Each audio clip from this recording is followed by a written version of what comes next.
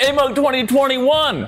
It's wrapped up. The first week of May, it was incredible. It was the first major in person additive manufacturing conference since COVID hit.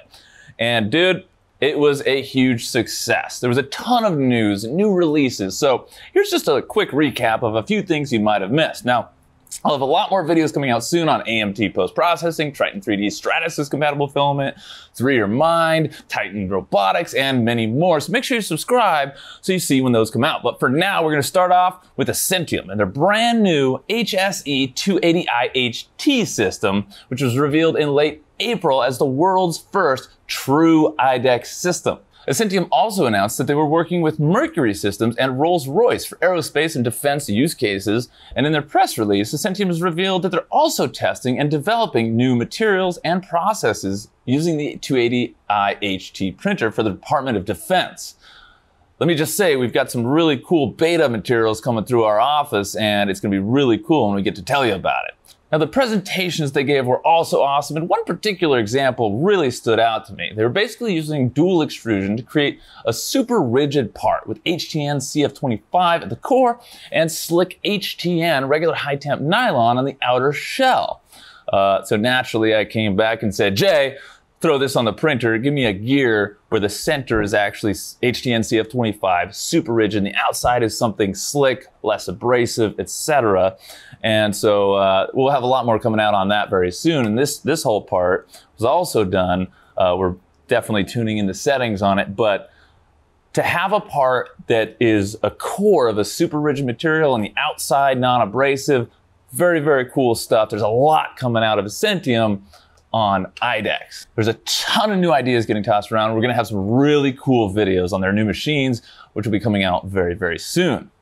Moving right along, we've got Stratasys, and they announced a partnership with DyeMansion to create what's called a reference architecture for production scale additive manufacturing.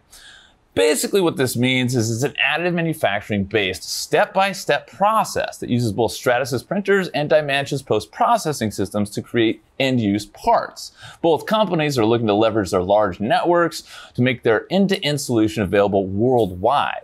Carbon Inc. also announced a similar collaboration with Post Process Technologies to incorporate their resin removal technology with Carbon's platform. Now, we've also got Titan Robotics, our friends over at the Rocky Mountains, launching their Atlas HS system, a massive hybrid machine.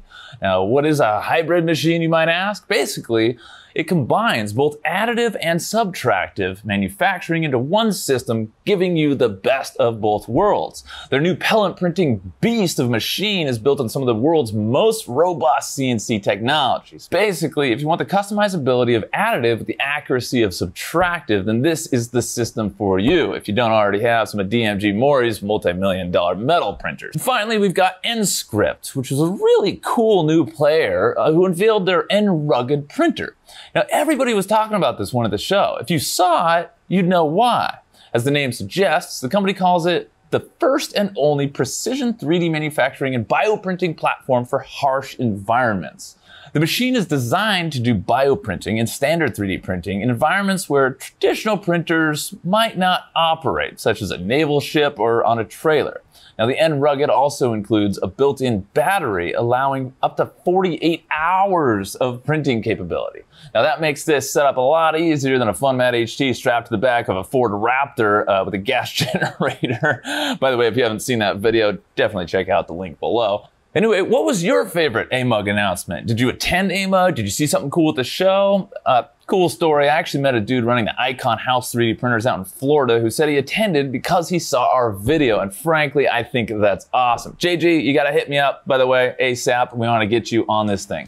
Anyway, leave your comments down below. Make sure to hit that like button. It helps us out a lot. And subscribe so you don't miss the next videos. And until then, have a positive rest of your day, and I'll see you on the next video.